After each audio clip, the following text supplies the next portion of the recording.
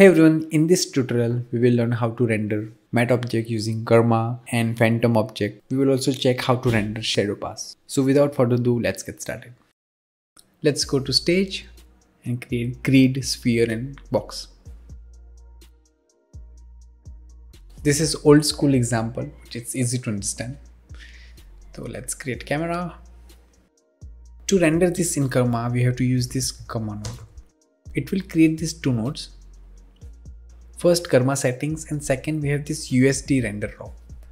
So here we can mention all those rendering parameters, path, camera and everything and here we have to just select frame range and render to disk. So to render this in viewport we have to just go over here and render. This looks nice. Let's create light from this angle. Yeah, so now we have this perfect and I prefer adding this before camera so I can say it lights camera and action. Great. So let's start with force object and before using any force object or phantom object I prefer using null before. So you can just name this as a stage input or something right so stage and let's give it this color and change the shape also right so here we will add objects lights and camera everything. But after this we can use force object force light or something right? So and we can also create multiple karma nodes also if you want to render separate objects right? Let's start with force object. For that we need this prune. And before using this prune we have to set a name properly because that's what we will read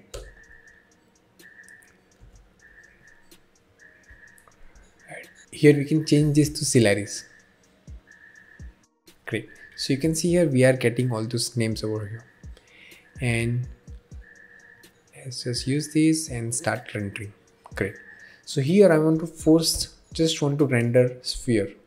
So let's just here I have to just mention the path. Select this and paste over here. At the moment it will exclude that objects but now we have to just invert this means we have to include that object. So here we have the option prune unselected. So it will just render that sphere only. And I prefer dark background. Let's hide the grids. Great. So let's just rename this cool right? So this is how we can just force any object right? We can just render its cube or grid right? So that's how we can just force this object. And after that let's check how we can cut matte any object right? So here i want to use this box as a cut matte so let's just delete this and let's use render settings for matte objects. As i said it's a cube great so whatever i'm going to make changes over here in terms of motion blur shading or something it will just apply on this geometry only. So let me just scroll down and yes so i have that option and hold out mode. So if i create and see that i have that matte option. So now you can see it's creating shadow over here but it's cut matte. And to check out the alpha you can just go over and render this. And yes this looks better. So now let's stop rendering from the viewport. Right so you can check alpha right? But i'm getting this. Next let's check how we can render this box as a phantom object. So i don't want to cut out everything. I just want to use this as a phantom object. So for that let's again we have to use these render settings and just name this phantom right? So awesome. And again we here we have to use this render visibility. So now we have all these options. Phantom so if I use this and let's render this. Great. So now we it's not cut matte but you can say here that it's creating shadows and everything. And next is very interesting. I want to create shadow. So let's just render this everything. Let's say you can see here that this is working fine. I want just shadow only right? So how do i just render shadow? So to render shadow here we can get that in AOVs and let me show you that. Let's go over here and we have to mention matte object. So here on which surface we need shadow. So that's grid right? So here we have to mention a matte object is grid. So that's where it will cast shadows. So let's use grid.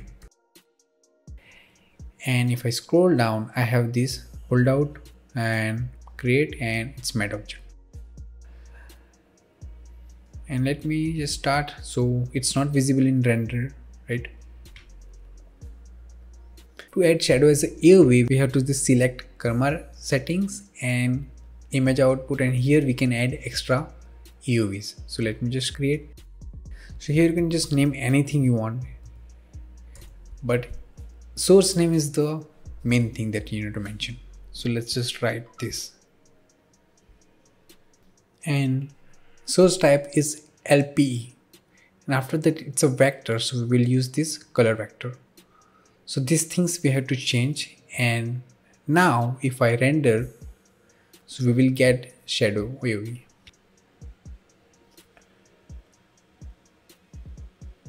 right? So we are getting shadow. But here if I select this I have these two options matte object and background. What does it mean? So if this is the geometry I have right? So let me just merge this pig head.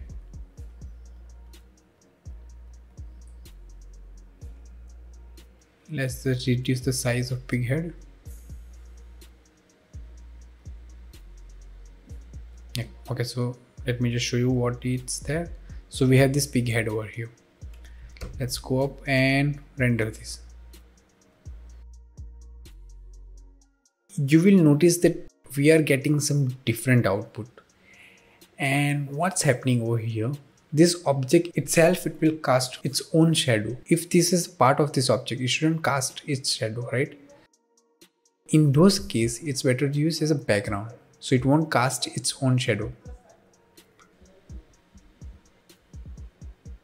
So this is the pig head shadow but it's not there.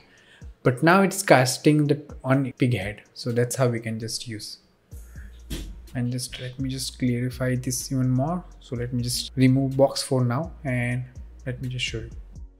Let's see here i'm not getting that but if i use this just matte it will create that shadow as well. So you can just check the difference before after. So these are the things that you can use. So i prefer using background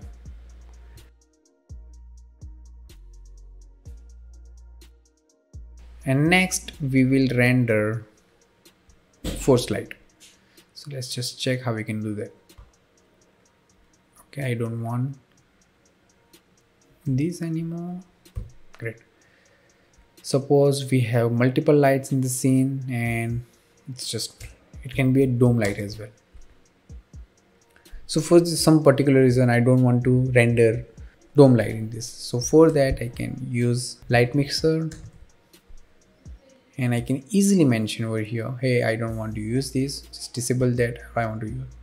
Don't want to use this. Just disable it. Maybe it can be useful in casting shadow only. So I want to cast shadow from this light only right? So these are the basic things. I feel it's important to know. Hope you like this and see you next time